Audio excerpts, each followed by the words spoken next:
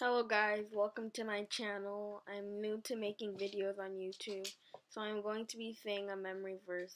It's called Psalm 143 verse 8. It says, Remind me each morning of your constant love, for I put my trust in you. My prayers go up to you. Show me the way I should go. Thank you for listening. Please subscribe and hit the notification bell to not miss any videos. Bye.